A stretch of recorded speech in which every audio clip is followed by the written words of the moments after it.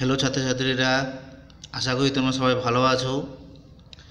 আজ আমি Dalkhola high school যে টেস্ট এক্সাম হয়েছিল দু হাজার বাইশে, তো সেটার ম্যাথ কোশ্চেন নিয়ে আলোচনা করছি। তো আজ আমি শুধু শর্ট কোশ্চেন নিয়ে আলোচনা করব নেক্সট ভিডিওতে বোর্ড কোশ্চেনগুলো নিয়ে আলোচনা করব। তো দেখো ডালকোলা হাই স্কুলে যে প্রশ্নগুলো এসেছিল, সেই প্রশ্নগুলো কেমন ধরনের দিয়েছে? তো এখানে প্রথমে প্রশ্ন আছে যে, নিচের প্রশ্নগুলোর উত্তর দাও। তো এখানে যে প্রথম প্রশ্ন দিয়েছে সেটা হচ্ছে, বার্ষিক আট পার্সেন্ট সরল সুদের হারে কোনো মূলধনের এন বছরে মূলধন যদি পি এন আর বাই পঁচিশ হয় মানে এত টাকা হয় তাহলে মূলধনের পরিমাণ কত হবে? তো দেখো অঙ্কটা আমি কীভাবে করছি। একের এক নম্বর, যেহেতু শর্ট কোশ্চিন তেমন কিছু করছি না, তাই মানে এখানটায় সুদের হার সুদের হার মানে আর এখানে আর দিয়েছে কত? এখানে আর দিয়েছে আর পার্সেন্ট এখানে সময় দিয়েছে মানে এন এন দিয়েছে এন বছর। তারপরে মোট সুদ। মোট সুদ মানে আই এখানে আই দিয়েছে পি এন আর বাই পঁচিশ। আর জিজ্ঞেস করেছে কি মূলধন কত? মূলধন মানে পি তো এবার এই পি বের করার সূত্র হচ্ছে কি? I into hundred by T R তো এখানে এন লিখছি যেখানে টি করছি টি আর তো এখানে আয়ের মান হচ্ছে কত? পি এন আর বাই পঁচিশ ইন্টু একশো। টি এর মান হচ্ছে এন আর আর এর মান হচ্ছে আর তো পঁচিশ চারে একশো এন এন কেটে গেলো আর আরও কেটে গেলো। তাহলে অ্যান্সার হবে এর কত? ফোর পি টাকা। তাহলে এটা অ্যান্সার মিলছে কত নম্বরের সঙ্গে? বি নম্বরের সঙ্গে। তার মানে একের যে এক নম্বর অঙ্কটা হবে, তার অ্যান্সার হচ্ছে ফোর পি মানে বি নম্বরের সঙ্গে মিলবে। এবার দুই নম্বর অঙ্কটা কি বলেছে? দুই নম্বর অঙ্কটা বলেছে কি? যে four five X square minus seven X plus two আর five four X square minus six X plus three সমীকরণটি রৈখিক হবে না দ্বিঘাত হবে না ত্রিঘাত হবে না, কোনোটাই হবে না। তো দেখো আমি অঙ্কটা কীভাবে করছি। তো অঙ্ক পাঠটা এইভাবে দেওয়া আছে এটা। প্রথমে গুণ করে দিচ্ছি। পাঁচ চারে কুড়ি এক্স স্কোয়ার সাত চারে আঠাশ এক্স আর চার দুগুণে আট। ফোর ফাইভ যা টোয়েন্টি ফোর সেভেন যা টোয়েন্টি এইট, ফোর টু যা এইট। এবার দিকের গুণটি করছি? সমান সমান। ফাইভ ফোর যা টোয়েন্টি, ফাইভ সিক্স যা থার্টি এক্স প্লাস ফিফটিন। তো এখানে দেখতে পাচ্ছি twenty X square, twenty X square কেটে যাচ্ছে। তার মানে এক্সের দ্বিঘাত মানটাই থাকছে না মানে এক্স স্কোয়ার থাকছে না, শুধু থাকছে এক্স আর এক্স। তো যেহেতু দুটাই দিকে এক্স, তাহলে এখানে বুঝতে পারছ কী হচ্ছে তাহলে এটা? তাহলে এটার অ্যান্সার হবে, এটা একটা রৈখিক। রৈখিক সমীকরণ, তার এটা অ্যান্সার হবে কত? এ নম্বরটা এর অ্যান্সার হবে। এবার তিন নম্বর অঙ্কটা কি বলছে? তেরো মিটার ও সাত মিটার উঁচু দুটি দণ্ড ভূমিতলে লম্বভাবে অবস্থিত এবং তাদের পাদদেশের মধ্যে দূরত্ব যদি আট মিটার হয়, তাহলে তাদের শীর্ষ দেশের মধ্যে দূরত্ব কত হবে? তো দেখো আমি তিন নম্বর অঙ্কটা কীভাবে করছি। তিন নম্বর অঙ্ক। দুটি খুঁটি, তার মানে একটা খুঁটি হচ্ছে তেরো মিটার, এর থেকে কিছুটা দূরে আরেকটা খুঁটি হচ্ছে সাত মিটার। তার মানে এই খুঁটিটা হচ্ছে কত? তেরো মিটার, এই খুঁটিটা হচ্ছে সাত মিটার মিটার মিটার। আর দুটি খুঁটির মধ্যে দূরত্ব হচ্ছে কত? আট মিটার। তার মানে আমি যদি এইভাবে যদি দাগ দিই, তার মানে এটা যদি আট হয়, তো নিশ্চয়ই এটাও আট মিটার। এটা যদি সাত হয়, তাহলে এটাও সাত মিটার। তার মানে এটুকু হলেও যেটা, সেটা হচ্ছে কত? ছয় মিটার। মানে এই পার্টটুকু হচ্ছে ছয় মিটার। আর এইটা হচ্ছে এদের শীর্ষ দেশের মধ্যে দূরত্ব। তো দেখো তো, এটা একটা সমকোণী ত্রিভুজ হচ্ছে। তো সমকোণী ত্রিভুজের এটা কি? অতিভুজ চেয়েছে। তাহলে অতিভুজটা যখন চেয়েছে, তাহলে আমরা এখানে নাম দিয়ে দিচ্ছি, এটা এ এটা বি এটা সি তাহলে এবিসি একটা সমকোণী ত্রিভুজ, এই কোণটা নব্বই ডিগ্রি, যেহেতু এটা নব্বই, তো এটা নাইনটি ডিগ্রি হবে। এটা ছয়, এটা আট। তাহলে এসি কত? তাহলে অতএব শীর্ষ দেশের মধ্যে দূরত্ব। তাহলে একটা হয়ে যাবে কত? সিক্স স্কোয়ার একটা হয়ে যাবে এইট স্কোয়ার তার আবার রুট ওভার বাইরে হবে মিটার ছয় ছয়, ছত্রিশ, আট, আটে চৌষট্টি। তো দুটাকে যোগ করলাম একশো মিটার তার মানে অ্যান্সার হয়ে গেলো কত? দশ মিটার তার মানে শীর্ষ দেশ এই যে দুটো যে খুঁটি আছে, সেই খুঁটির শীর্ষ দেশের মধ্যে দূরত্ব হয়ে গেলো কত অ্যান্সার সেটা অ্যান্সার হচ্ছে দশ মিটার। তার মানে এটার অ্যান্সার হবে বি তার মানে এক নম্বরের অ্যান্সার হচ্ছে বি তার বি ডোমেনের অ্যান্সার হচ্ছে এ তিন নম্বর অঙ্কের অ্যান্সার হচ্ছে বি এবার যাচ্ছে আমরা পরের অঙ্কে। চার নম্বর অঙ্ক বলছে পাই বাই সিক্স রেডিয়ান সমান মানে পাই বাই সিক্স রেডিয়ান কার সঙ্গে সমান হবে? তো দেখো অঙ্কটা আমি কীভাবে করছি। চার নম্বর অঙ্ক। Pi by six. তো পাই মানে জানি আমরা একশো আশি ডিগ্রি, একশো আশি বাই সিক্স মানে কত হয়ে গেলো? তিরিশ ডিগ্রি। তাহলে এটা অ্যান্সার হবে ডি তাহলে পাই বাই সিক্স হচ্ছে কত ডিগ্রির সঙ্গে সমান? তিরিশ ডিগ্রির সঙ্গে সমান। এবার যাচ্ছে আমরা পরের অঙ্ক। পাঁচ নম্বর অঙ্কটা যেটা বলেছি কি? একটি লম্ববৃত্তাকার শঙ্কুর তির্যক উচ্চতা পনেরো সেমি, ভূমিতলের ব্যাস ষোলো সেমি, তাহলে শঙ্কুর পার্শ্বতলের ক্ষেত্রফল কত? তো শঙ্কুর পার্শ্বতলের ফর্মুলা হচ্ছে কি? পাই আর এল। তো সেটা দিয়ে অঙ্ক করলে আমার হয়ে যাবে। দেখো অঙ্কটা কীভাবে করছি। তো আমি লিখলাম শঙ্কুটির পার্শ্বতলের ক্ষেত্রফল। তো পার্শ্বতলের ক্ষেত্রফল সূত্র কি? পাই আর এল। তাহলে পায়ের মান হচ্ছে কত? বাইশের সাত। আচ্ছা আমি পাইটাকে পাই রাখছি। আর মনে হচ্ছে ব্যাসার্ধ।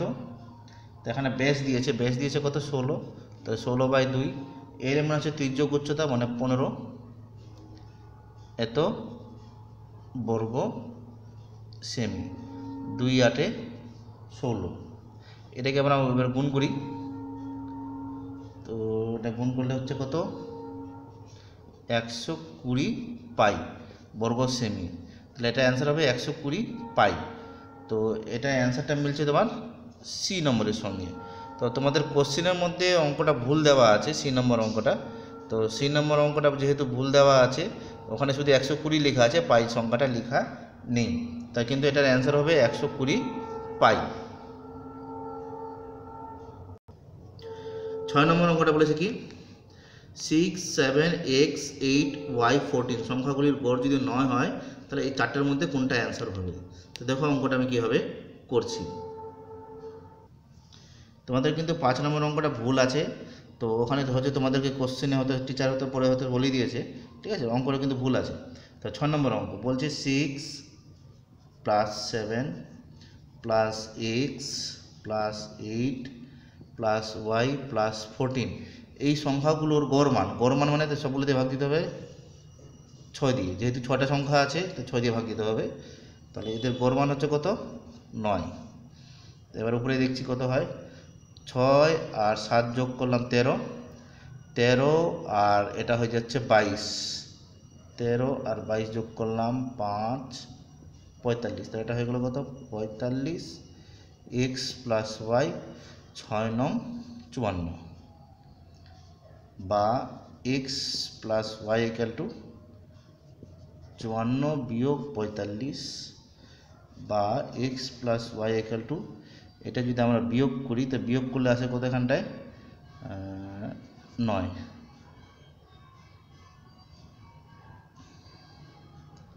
তার মানে এক্স প্লাস ওয়াইয়ের মান মানে হচ্ছে নয়। আমার এখানে ভুল হয়েছে, আমার এখানে যোগ করতে ভুল হয়েছে, এটা পঁয়ত্রিশ হবে। পঁয়ত্রিশ হবে সরি এটা আমার ভুল হয়ে গেলো যোগ করতে, এটা পঁয়ত্রিশ হবে। X plus Y equal to nineteen তার মানে এটা মিললো আমার বি নম্বরের সঙ্গে। তো আমি দুঃখিত প্রথমে এটা যেহেতু ভুল করে দিলাম, যোগ করতে ভুল করেছিলাম। কেন কেন ছয় আর ছ সাত যোগ করলে তেরো তেরো আর আট যদি যোগ করি আমরা, তো একুশ হয়, একুশ আর পর চোদ্দ যোগ করলে পরে পঁয়ত্রিশ হয়। ঠিক আছে, এটা যোগ আমার ভুল হয়ে গেছিল। আর এখানে তারপরে পঁয়ত্রিশ যোগ এক্স প্লাস ওয়াই, ছয় নং চুয়ান্ন, এক্স প্লাস ওয়াই থেকে গেলো, আর পঁয়ত্রিশকে আমরা এদিকে নিয়ে আসলাম, তার মাইনাস হয়ে গেলো, চুয়ান্ন থেকে পঁয়ত্রিশ গেলে উনিশ, তার মানে X plus Y equal to উনিশ, তার মানে বি নম্বরের সঙ্গে এটা মিলেছে। এবার যাচ্ছি তারপরের অঙ্কে। তো একের অঙ্কগুলো হয়ে গেলো, আবার দুইয়ের অঙ্ক। তো দুইয়ের অঙ্ক হচ্ছে শূন্যস্থান বর্ণন করি। তো দুইয়ের এক নম্বরটা কী বলছে? যে ব্যক্তি ধার দেন তাকে কি বলে? তো জেনে রাখো, যে ব্যক্তি ধার দেয় তাকে উত্তমন্য বা ঋণদাতা বলা হয় বা পাওনাদারও বলা হতে পারে। ঠিক আছে, এটা মনে রাখবে। তো কথাটা হচ্ছে কি উত্তমন্য ঋণদাতা বা পাওনাদার। এই তিনটার মধ্যে যে কোনো একটা লিখলে তোমাদের ফুল নম্বর পাবে। এবার দুই নম্বর অঙ্কটা। তো এইটা দীঘা সমীকরণ আছে এইসব বিজয়ের সমষ্টি ও গুণফলের অনুপাত কত হবে হিসাব করো। তো দেখো অঙ্ক- অঙ্কটা আমি কীভাবে করছি। তো আমি এখানে লিখলাম বীজদ্বয়ের সমষ্টি ও গুণফলের অনুপাত। তো বীজদ্বয়ের সমষ্টির মান হচ্ছে কি? Minus B by A. তাহলে এখানে বি বলতে হচ্ছে তোমার minus twelve by A. A বলতে হচ্ছে এখানে সেভেন। ঠিক আছে? আর যেহেতু বাইরে একটা সেভেন তুমি ই দিতে হবে, অনুপাত দিতে হবে, তাহলে মাইনাস বি বাই এ তা বি বলতে মাইনাস আছে সেখানে মাইনাস বাড়া দিলাম plus is two C by A তাহলে এখানে সি বলতে হচ্ছে তোমার আঠেরো, তার মানে আঠেরো বাই সাত, ঠিক আছে? তো অঙ্কটা হয়তো সমীকরণে বির ভুল আছে হ্যাঁ? সেভেন এক্স দিয়েছে, ওটা সেভেন এক্স স্কোয়ার হবে, অঙ্কে ভুল আছে এটা। তো এখানে দেখো মাইনাস মাইনাসে প্লাস সাত সাত কেটে গেলো তো এটা হলো বারো ইস টু আঠারো। ছয় দুগুণে বারো, ছয় তিনে আঠারো। তাহলে অ্যান্সার হলো কত? টু ইস টু থ্রি তো সমীকরণে দীঘার সমীকরণটা যেটা আছে, সেটা বইয়ে কিন্তু কোশ্চেনে কিন্তু ভুল দেওয়া আছে দুই নম্বর অঙ্কে। তো ওখানে ওরা লিখছে seven X minus twelve X plus eighteen ঠিক আছে? ওটা কিন্তু ভুল আছে। এবার যাচ্ছে আমি তিন নম্বর অঙ্কে। তো এখানে বলেছি কি তিন নম্বর অঙ্কটা? একটি সরলরেখা বৃত্তকে দুটি বিন্দুতে ছেদ করলে সরলরেখাটিকে বৃত্তের ড্যাশ বলে। তো এখানে মনে রাখবা সরলরেখাটিকে বৃত্তের ছেদক বলে। তাহলে তিন নম্বর অঙ্কের অ্যান্সার হচ্ছে ছেদক। তাহলে একটি সরলরেখা বৃত্তকে দুটি বিন্দুতে ছেদ করলে সরলরেখাটিকে বৃত্তের ছেদক বলে। তারপরের অঙ্ক এ এবং বি পরস্পর পূরককোণ হলে সাইন এ ইকাল টু কত হবে? তো যেহেতু এটা সাইন এ দিয়েছে, তাহলে এটা হয়ে যাবে কত? Cos ninety degree minus B আমি বলে, লিখে দিচ্ছি কি হচ্ছে অ্যান্সারটা চার নম্বর অঙ্ক। আচ্ছা তিন নম্বরটা আমি লিখে দিচ্ছি এখানে। তিন নম্বর অঙ্কটা যেটা বলে সেটা হচ্ছে তোমার ছেদক। হ্যাঁ আর চার নম্বর অঙ্কটা সাইন এ দিয়েছে, এটা এর অ্যান্সার হয়ে যাবে কস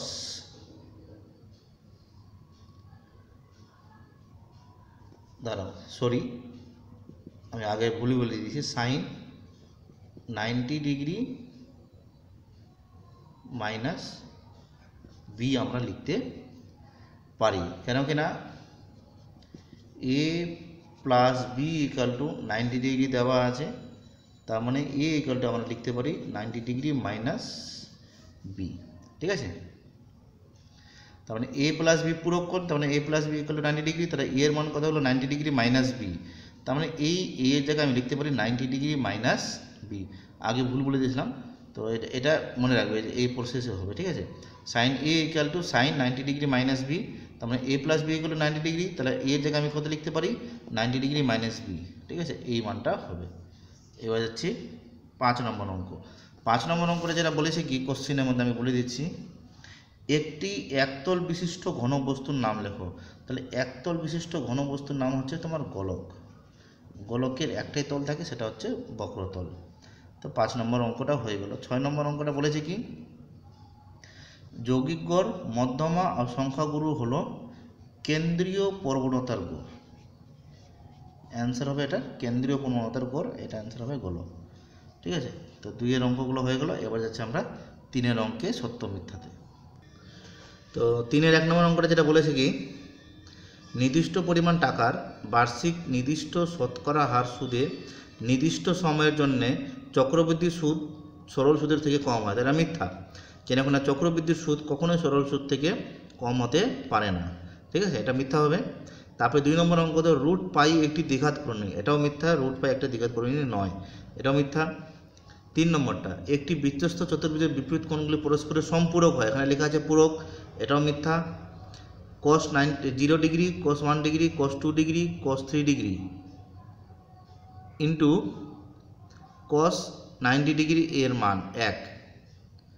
তাহলে এটারও অ্যান্সার হবে মিথ্যা কেন কি না আমরা যখন আমরা কস নাইনটি ডিগ্রি মান বসাবো, তখন কস নাইনটি ডিগ্রি মানে জিরো এবার এই জিরো মানের সঙ্গে এই সবগুলোকে যদি আমরা গুণ করি, তাহলে জিরো হবে নিশ্চয়ই। তার মানে এর অ্যান্সার জিরো হয়, কিন্তু এরা লিখছে ওয়ান তার মানে এটাও ভুল। পাঁচ নম্বর অঙ্ক। একমুখ কাটা একটি পেন্সিলের আকার ও শঙ্কু ও ঘনকের সমন্বয়। তো শঙ্কু আর ঘনকের তো সমন্বয় হয় না, এটাও ভুল। ঠিক আছে? তো এটা হচ্ছে তোমার শঙ্কু আর চঙের সমন্বয় হয়। তো এখানে ঘনকের বলছে, তার মানে এটাও ভুল, ঘনক হবে না চং হবে এটা। তারপরে ছয় নম্বর অঙ্ক, দুই, তিন, নয়, দশ, নয়, তিন, নয়, তথ্যের সংখ্যা গুরুমান দশ। দেখো, এখানে সংখ্যা গুরুমান দশ হবে না, কারণ হচ্ছে সংখ্যা গুরুমান মানে এদের মধ্যে সবচেয়ে কোন সংখ্যাটা বেশি আছে? দেখো, নয় এখানে তিনবার আছে। ঠিক আছে? এখানে নয়, তিনবার আছে, তাহলে সংখ্যা গুরুমান হবে এর নয়। তো এখানে বলেছে দশ, তার মানে এটাও ভুল। তার মানে দেখতে পাচ্ছি এখানে যতগুলো অঙ্ক আছে তিনের, সবগুলোরই অঙ্কের অ্যান্সার কিন্তু মিথ্যা হবে। ঠিক আছে? তার মানে তিনের যতগুলো অঙ্ক হবে সবগুলো অঙ্কেরই অ্যান্সার মিথ্যা। তার মানে তোমাদের যে তিনের যে যতগুলো অঙ্ক দিয়েছে, সবগুলো অ্যান্সার কিন্তু মিথ্যা হবে। আর এই ছয় নম্বর অঙ্কটা সংখ্যা পরিমাণ নয় হবে, আর দশ করেছি, আমি লিখে দিলাম। তো তিনের সবগুলো অঙ্কের অ্যান্সার মিথ্যা হবে। এবার দেখো চারের অঙ্ক, কি বলেছে? জয়ন্ত, অজিত এবং কুণাল মোট পনেরোশো টাকা দিয়ে একটি আংশাদারি ব্যবসা শুরু করে। বছরের শেষে জয়ন্ত, অজিত এবং কুণালের যথাক্রমে এত টাকা এত টাকা এত টাকা লাভ হয়। তাহলে জয়ন্ত কত টাকা ব্যবসায় নিয়োজিত করেছিল? দেখো, এখানে দেখতে হবে টোটাল টাকা হচ্ছে পনেরোশো টাকা আর লাভের টাকা হচ্ছে এটা। তার মানে আমাকে এখানে প্রথমে লিখতে হবে জয়ন্ত, অজিত কুণাল এদের লাভাংশের অনুপাত মানে আটশো, এক হাজার, বারোশো। এই অনুপাত দিয়ে আমাকে জয়ন্তের টাকাটা বের করতে হবে। তো দেখো আমি কীভাবে করছি। কেন আমরা জানি যে লাভ্যাংশের অনুপাত আর মূলধন অনুপাত দুটো সমান হয়। তো লাভ্যাংশ থেকে আমরা মূলধন বের করতে পারব, আবার লাভ্যাং, মূলধন থেকে আবার লাভ্যাংশের অনুপাতও বের করতে পারব। সেম প্রসেসে কিন্তু অঙ্কটা হবে। দেখো অঙ্কটা আমি কীভাবে করছি। চারের এক নম্বর অঙ্ক। তো দেখো অঙ্কটা আমি কীভাবে করছি। তো প্রথমে লিখলাম Jayanta is to Ajit is to Kunal. তো জয়ন্ত আটশো টাকা, অজিত হাজার টাকা, আর এটা বারোশো টাকা। তো এটা দুই চারে আট, দুই পাঁচে দশ, দুই ছয় বারো কেন শূন্যগুলোতে কেটে যাবে। এবার পনেরোশো টাকার মধ্যে জয়ন্ত ব্যবসা নিয়োজিত করেছিল। তাহলে জয়ন্ত টাকা হচ্ছে চার, কত টাকার মধ্যে সবগুলো যোগ করলাম? পনেরো। ছয় আর পাঁচ এগারো এগারো আর চার পনেরো। তাহলে পনেরো টাকার মধ্যে চার টাকা হচ্ছে জয়ন্তর। সেটা আমি লিখলাম, পনেরোশো টাকার মধ্যে জয়ন্ত ব্যবসা নিয়োজিত করেছিল, চার বাই পনেরো ইন্টু পনেরোশো টাকা। কাটাকাটি করলাম, তাই অ্যান্সার হলো চারশো টাকা। তার মানে চারের যে এক নম্বর অঙ্ক হবে, তার অঙ্কের অ্যান্সার হবে কত? চারশো টাকা। তার মানে জয়ন্ত ব্যবসা নিয়োজিত করেছিল চারশো টাকা। এবার যাচ্ছি চারের দুই নম্বর অঙ্কে। তো চারের দুই নম্বর অঙ্কটা বলেছে কি, প্রতি বছর জনসংখ্যা আট পার্সেন্ট হারে বৃদ্ধি হলে এন বছর পর জনসংখ্যা হয় পি তাহলে এন বছর পূর্বে জনসংখ্যা কত ছিল? তার মানে আগের জনসংখ্যাটা কত ছিল সেটা চেয়েছে। তো দেখো অঙ্কটা আমি কীভাবে করছি। দুই নম্বর অঙ্ক। আমি লিখছি এখানটায় এন বছর পূর্বে জনসংখ্যা ছিল। তো বর্তমান জনসংখ্যা হচ্ছে কত? পি যেহেতু ছিল বলেছে, তাহলে আমি এখানে দিব ডিভাইড চিহ্ন one plus R by hundred power N জন। তো সমান সমান P by one plus R by hundred power N জন। তো সূচকের নিয়ম অনুসারে যদি উল্টাতে চাই, তাহলে P one plus R by hundred এনটা হয়ে যাবে মাইনাস এন জন। তাহলে এটাই হচ্ছে এর অ্যান্সার তাহলে এন বছর পূর্বে জনসংখ্যা ছিল কত?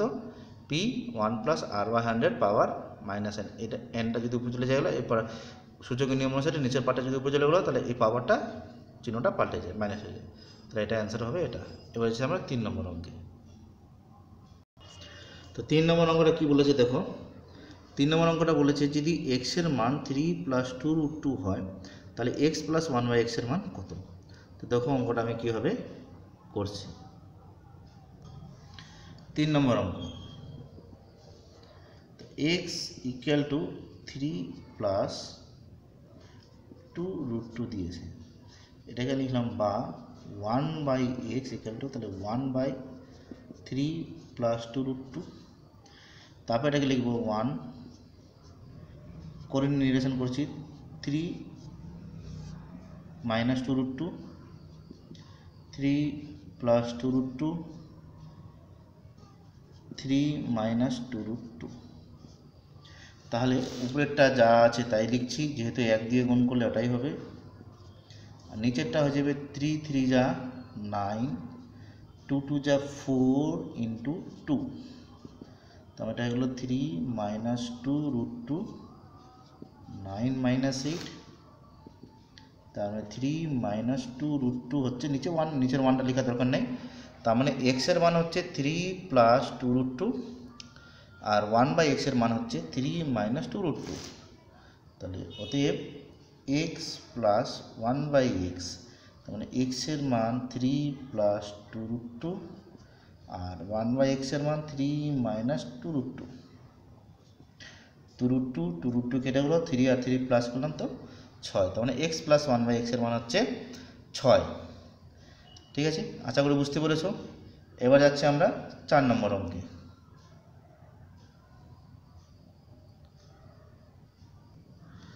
ছয় নম্বর অঙ্ক। ছয় নম্বর অঙ্ক বলেছে এই একটা দীঘার সমীকরণ, এখানে কে এর কোন মানের জন্য বীজদ্বয় বাস্তব ও সমান হবে? তো দেখো বীজদ্বয় বাস্তব ও সমান মানে নিরূপকের মানটা হচ্ছে জিরো মানে B square minus four A C equal to zero হবে। দেখো অঙ্কটা কীভাবে আমি করছি। দেখো, আমি প্রথমে লিখলাম কি two x square plus three x plus k equal zero সমীকরণের বীজদ্বয় বাস্তব ও সমান। মানে সমীকরণের বীজদ্বয় বাস্তব ও সমান। তাহলে অতএব নিরূপক সমান সমান বি স্কোয়ার এখানে বি বলতে হচ্ছে three b square minus four a বলতে হচ্ছে টু আর সি বলতে হচ্ছে কে তাহলে b square minus four a c সমান সমান জিরো জিরো কেন হলো? যেহেতু সমীকরণের বীজদ্বয় বাস্তব ও সমান, তাই। তাহলে বা থ্রি থ্রি যা নাইন ফোর টু যা এইট কে গেলে জিরো বা নাইন সমান সমান এইট কে বা কে সমান সমান আমরা লিখতে পারি নাইন বাই এইট তার মানে এটার অ্যান্সার হয়ে যাচ্ছে কত? নাইন বাই এইট এবার যাচ্ছে আমরা পাঁচ নম্বর অঙ্কে। তো পাঁচ নম্বর অঙ্কটা যেটা বলেছে সেটা কি? কিছু পশুর বয়স বছরে দেওয়া আছে ছয়, দশ, পাঁচ, চার, নয়, এগারো, কুড়ি, আঠেরো। তাহলে বয়সের মধ্যমা নির্ণয় করি। তো দেখো এই অঙ্কটা আমি কীভাবে করছি। পাঁচ নম্বর অঙ্ক। তো সংখ্যাগুলো আছে ছয়, দশ, পাঁচ, চার, নয়, এগারো কুড়ি, আঠেরো। তো এই সংখ্যাগুলো দেওয়া আছে। তো প্রথমে আমি লিখব, মানের ঊর্ধ্বক্রমে সাজিয়ে পাই। মানের ঊর্ধ্ব ক্রমে সাজিয়ে পাই। মানে ছোট থেকে বড়। তাহলে এখানে সবচেয়ে ছোট হচ্ছে চার, তারপরে পাঁচ, তারপরে ছয়। চার হয়ে গেলো, পাঁচ হয়ে গেলো, ছয় হয়ে গেলো। তারপরে নয়, তারপরে দশ, নয়, দশ, তারপরে এগারো, আঠেরো, কুড়ি। তো দেখো, এখানে মধ্যমা বের করার নিয়ম হচ্ছে এখানে সংখ্যা দেখো কতগুলো আছে? এক, দুই, তিন, চার, পাঁচ, ছয়, সাত, আটটা সংখ্যা আছে। তো আটটা সংখ্যার মধ্যে যদি মধ্যমা বের করতে হয়, তাহলে এই নিয়ম হচ্ছে এই দিক থেকে যদি ধরি তাহলে আটটা, তাহলে আটের মাঝখানে কি আছে? নয়। এদিক থেকে যদি ধরি আটটা, তাহলে আটের মাঝখানে কি আছে? দশ এদিক থেকে। যেহেতু এটা হচ্ছে তোমার মধ্যমা বের করার তো মধ্যমা বের করতে হলে যদি যুগ্ম সংখ্যা থাকে, তার নিয়ম আলাদা হয়। ও যুগ্ম থাকলে তার নিয়ম আলাদা হয়। তো যুগ্ম সংখ্যার নিয়ম আমি যেটা শর্টকাটে তোমাদেরকে বলি বা জানাই সেটাই শর্টকাটটাই মনে রাখবে। যদি যুগ্ম থাকে, যদি এখানে চারটা সংখ্যা, আটটা সংখ্যা আছে, তাহলে আটের অর্ধেক কত? চার। তার মানে যুগ্ম থাকলে পরে একমাত্র। তাহলে আমি বাঁ দিক থেকে চার ঘর নিব ডান দিক থেকেও চার ঘর নেব। তাহলে নয় আর দশ। অতএব নির্ণয়, মধ্যমা nine plus two by two এর মাঝখানে হবে এত বছর, তার মানে নাইনটিন বাই টু তাহলে এটা অ্যান্সার হয়ে গেল নাইন পয়েন্ট ফাইভ বছর। তার মানে এই অঙ্কটার মধ্যমা যে অ্যান্সারটা হবে, সেটা হবে নাইন পয়েন্ট ফাইভ বছর। আর মধ্যমা বের করার সূত্র হচ্ছে যে যতগুলো সংখ্যা থাকবে সেটাকে অর্ধেক করব। মনে করো যুগ্ম থাকলে পরে। অর্ধেক করলে কত হলো? আট, চার হলো। তাহলে আমি এদিক থেকেও চার করে এদিক থেকেও চার ঘর যদি দশ হতো, তাহলে এদিক থেকে পাঁচ ঘর এদিক থেকে পাঁচ ঘর নিয়ে যোগ করে দুই দিয়ে ভাগ। আর যদি অযুগ্ম হতো, তাহলে কি করতাম? শুধু এক যোগ করে দুই দিয়ে ভাগ দিয়ে যেতাম ঠিক আছে? মানে এক সংখ্যা বাড়িয়ে। কোনো কিছু নাই। সহজ আছে। মানে এক যোগ করে ছেড়ে যেতাম ঠিক আছে? এটা তোমাদেরকে নেক্সট ভিডিও জানা হবে, যখন সংখ্যা গুরুমান করাবো তখন তোমাদের বুঝিয়ে দেওয়া হবে যেটা কীভাবে হচ্ছে। তা আপাতত, এই সরি মধ্যমা যখন শুরু করব তখন। তখন আপাতত তোমরা এটা মনে রাখো যে কীভাবে হচ্ছে অ্যান্সার এবার দেখো ছয় নম্বর অঙ্ক কী বলেছে? একটি পরিসংখ্যা বিভাজনের গড় এইট পয়েন্ট ওয়ান আর এফ ওয়াই এক্স আই এর যোগফল মানে গুণফলের যোগফল, এটা মানে সিগমা সিগমা মানে যোগফল। মান যদি এত হয় এবং এফ আই এর মান যদি কুড়ি হয় তাহলে কে এর মান কত হবে? হিসাব করে লিখি। তো দেখো এই অঙ্কটা আমি কীভাবে তোমাদের করে দিচ্ছি। দুইয়ের ছয় নম্বর। তা আমি প্রথমে লিখলাম sigma f i x i by sigma f i এটার মান দেওয়া আছে কত? এইট পয়েন্ট ওয়ান বা একশো বত্রিশ যোগ ফাইভ কে এফ আই মানে হচ্ছে twenty equal to eight point one এবার সিম্পল ক্যালকুলেশন যে হিসাবে করা সেটা করব plus five k point one sixty two বা five k equal to one sixty two minus one thirty two বা ফাইভ কে ইকাল টু এটা বিয়োগ করলে পরে হয়ে যাবে কত?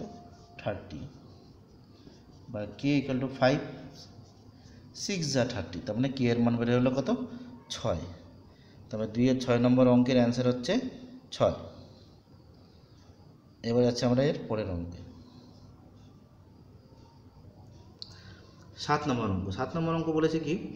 একটি ঘুড়ির উন্নতি কোণ ষাট ডিগ্রি এবং সুতোর দৈর্ঘ্য টোয়েন্টি রুট থ্রি হয় মানে মিটার হয়, তাহলে ঘুড়িটি মাটি থেকে কত উচ্চতায় আছে? দেখো অঙ্কটা আমি কীভাবে করছি। দেখো, সাত নম্বর অঙ্ক। তো আমি অঙ্কটা করছি এখান, এটা ভূমি। এখান থেকে কেউ ঘুড়িটা উড়াচ্ছে তারপরে ঘুড়িটা এইভাবে উড়বে নিশ্চয়ই। এখানে ঘুড়িটা আছে।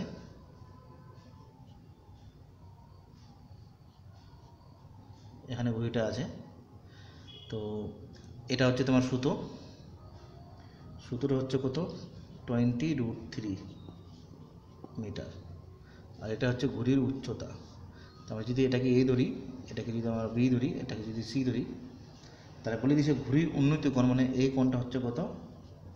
ষাট ডিগ্রি। তো জিজ্ঞেস করছে ঘুড়িটি কতটা উঁচুতে আছে মানে এ বি এর মানটা কত? তো আমি এখানে লিখছি,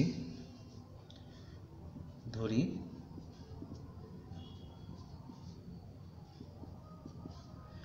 ঘুড়িটি মাটি থেকে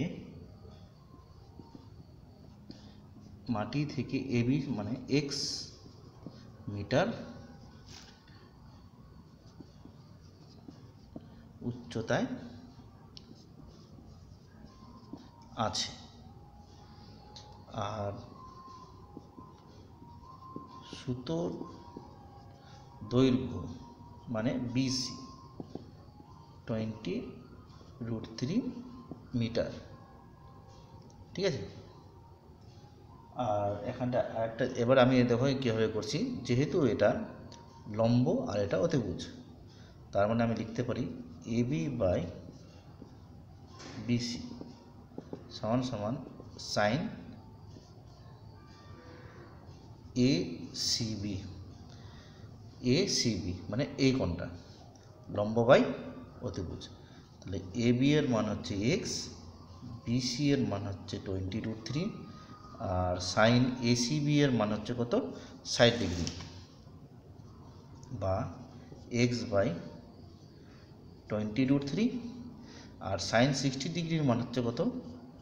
রুট থ্রি বাই টু তো এক্স সমান সমান, এটার সঙ্গে এটা যদি গুণ করি twenty into three by two কাটলাম দশ। তার মানে এক্স ইকুয়াল টু হয়ে গেলো কত?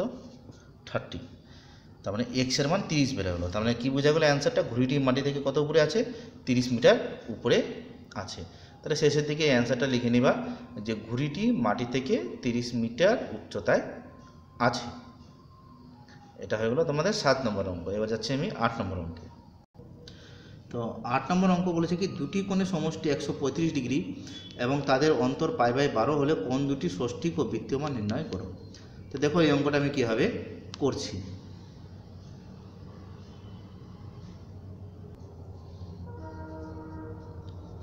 কোন দুটির সমষ্টি একশো পঁয়ত্রিশ ডিগ্রি আর কোন দুটির অন্তর বলে দিয়েছে? পাই বাই বারো। তো আমরা পাই মানে জানি কত? একশো আশি ডিগ্রি বাই বারো কাটাকাটি করলাম পনেরো। আমি রেডিয়ানে মানে ষষ্ঠীকে করে নিলাম। সুতরাং প্রথম কোনটির মান, প্রথম কোণটির মান হবে একশো পঁয়ত্রিশকে পনেরো দিয়ে যোগ করে দুই দিয়ে ভাগ। তার মানে এটা হয়ে গেলো কত? একশো পঞ্চাশ বাই দুই, তার মানে পঁচাত্তর ডিগ্রি। তাহলে পঁচাত্তর ডিগ্রি প্রথম কোণটির মান। দ্বিতীয় কোণটির মান একশো পঁয়ত্রিশ বিয়োগ পনেরো, দুই দিয়ে ভাগ। তার মানে এটা হয়ে যাবে কত? একশো কুড়ি বাই দুই। তার মানে কত ডিগ্রি ষাট ডিগ্রি তাহলে কোন দুটির ষষ্ঠিক মান আমরা পেয়ে গেলাম। ঠিক আছে? কোন দুটি ষষ্ঠিক মান একটা পঁচাত্তর ডিগ্রি আর একটা ষাট ডিগ্রি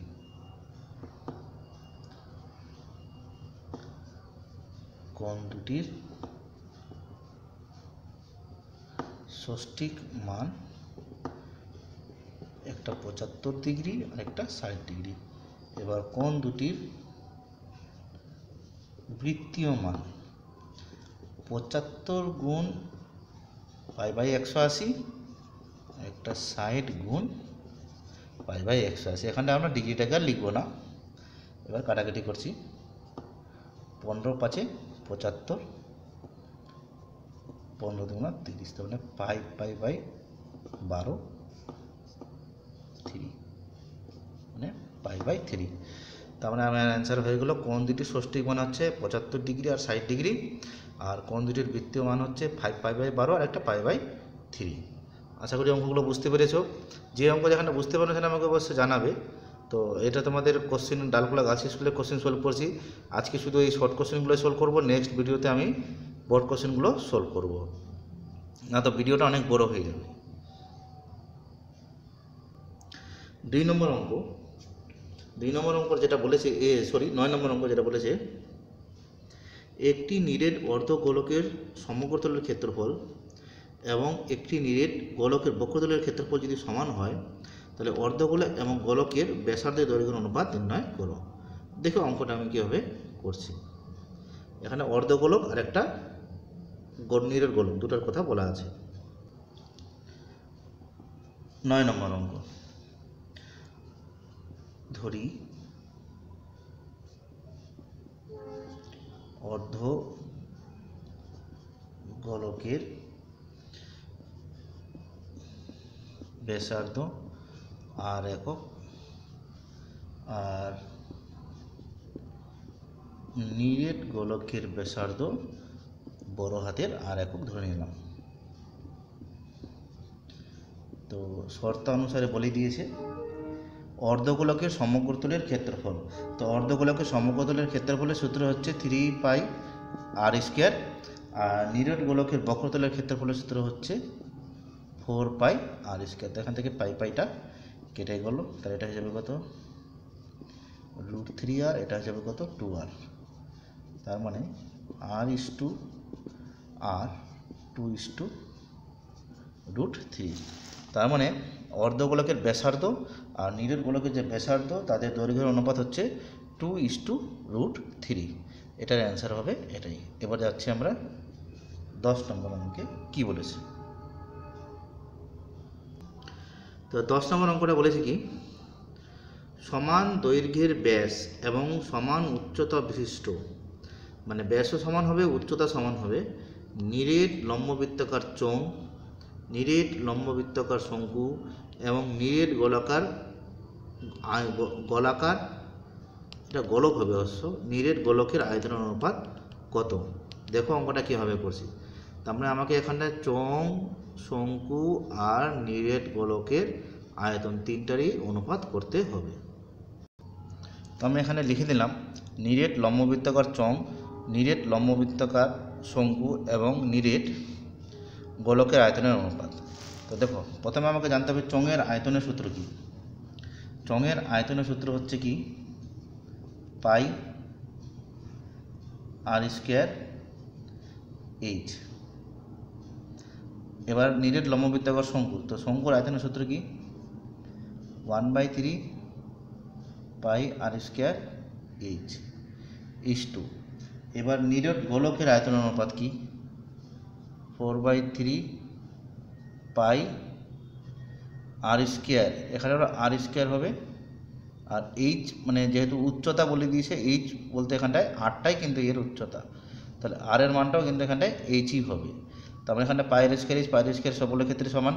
কেটে গেলো, তাহলে অ্যান্সার হয়ে গেলো তো one is to one by three is to four by three তারপরে এটা অ্যান্সার দাঁড়াচ্ছে three is to one is to four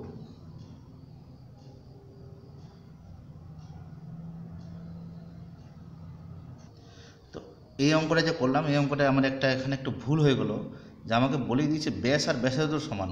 তার মানে এখানে যে আটটা লিখেছিলাম সেখানে আর হবে না, এখানটা হয়ে যাবে কত বলো তো আর বাই টু হবে।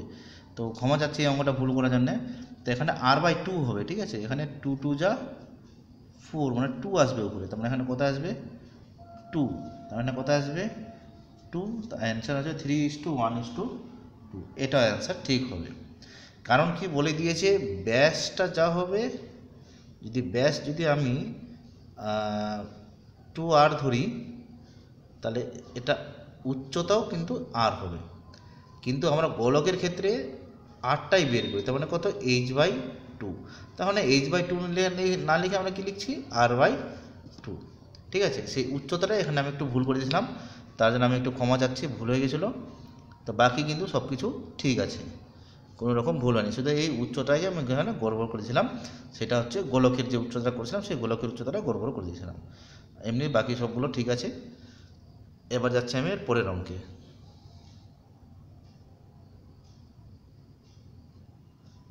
এগারো নম্বর অঙ্কটা দেখো কী লেখা আছে।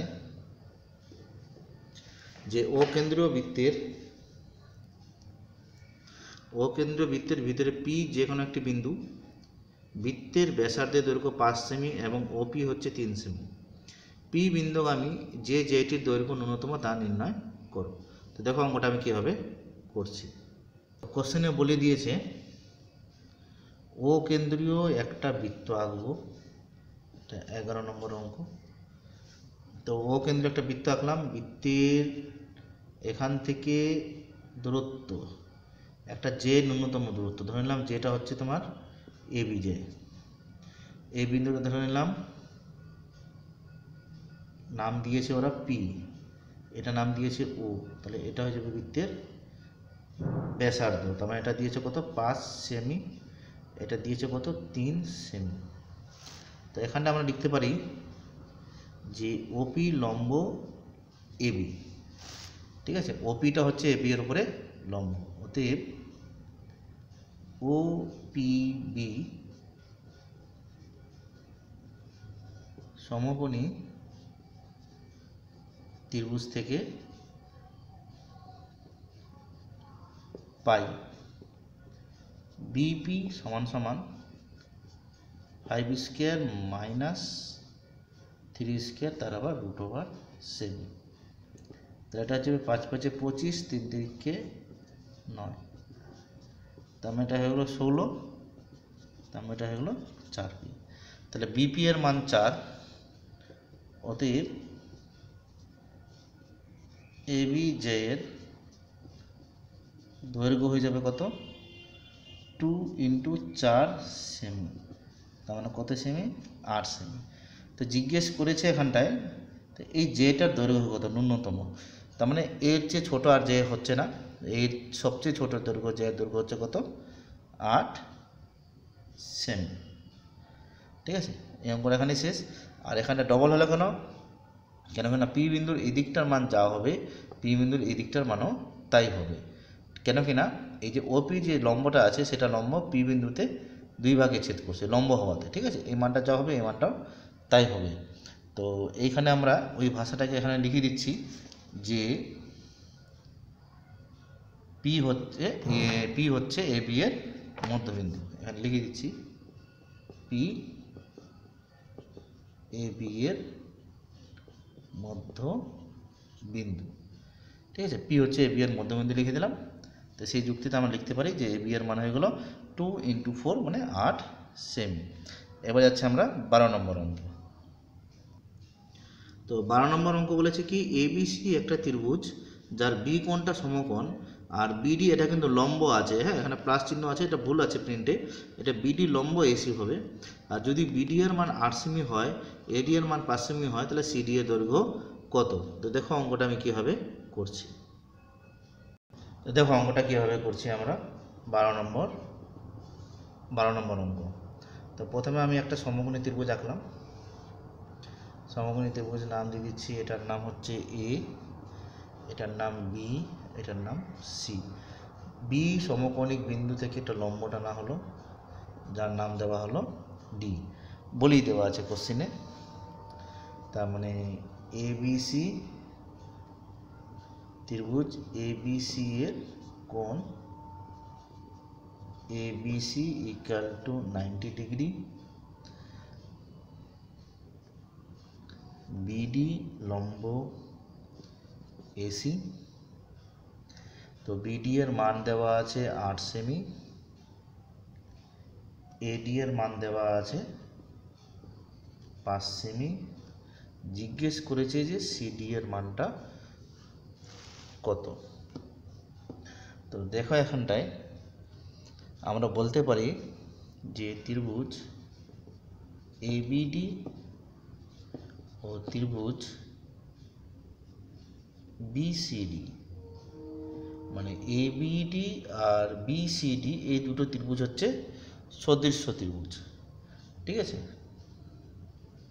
তো সদৃশ্য ত্রিভুজ হওয়ার জন্য আমরা এখানে লিখতে পারি যে এডি বাই বিডি সমান সমান বিডি বাই সিডি তো এই দুটো ত্রিভুজ সদৃশ্য হওয়াতে আমরা এই জিনিসটা লিখতে পারি। ঠিক আছে? এবার আমি বলছি মানগুলো বসাচ্ছি এডি এর মান হচ্ছে কত? এডি এর মান হচ্ছে পাঁচ বিডি এর মান আট বিডি এর মান আট সিডিটা আমরা বের করব। তাহলে আমরা ফাইভ ইন্টু সিডি আট আটে চৌষট্টি বা CD equal to sixty four by five এবার সিক্সটি ফোর বাই ফাইভ এটাকে যদি আমরা ডিভাইড করি এটা হয়ে যাবে কত? টুয়েলভ পয়েন্ট এইট সেমি। মানে সিডি এর মান বের হলো কত? টুয়েলভ পয়েন্ট এইট সেমি। তো আশা করি বুঝতে পেরেছ। তো আজ আমার ভিডিও এই পর্যন্ত থাকল। আবার নেক্সট ভিডিওতে বোর্ড কোশ্চেনগুলো নিয়ে আলোচনা করব। তো এটা বোর্ড কোশ্চেনগুলো শর্ট কোশ্চেনগুলো নিয়ে আলোচনা করা হলো। তো এটাতে ভিডিওটা অনেকটা বড় হয়ে গেছে। সেই জন্য আমি বোর্ড কোশ্চেন নিয়ে আর আজকে আলোচনা করছি না। নেক্সট ভিডিওতে বোর্ড কোশ্চেনগুলো নিয়ে আলোচনা করব। আর পারলে পরে ডালকুলা হাই স্কুল ডালকুলা উত্তর ডালকুলা হাই স্কুল এগুলোরও অঙ্ক কোশ্চেনটা সলভ করব। তো যদি তোমাদের ভিডিওটি ভালো লাগে তাহলে অবশ্যই লাইক করবে আর কমেন্ট করবে আর চ্যানেলটিকে সাবস্ক্রাইব করে দিবে যারা যারা প্রথম আমার ভিডিও দেখছ। তো আমার ভিডিও আজ পর্যন্ত থাকল তো ধন্যবাদ।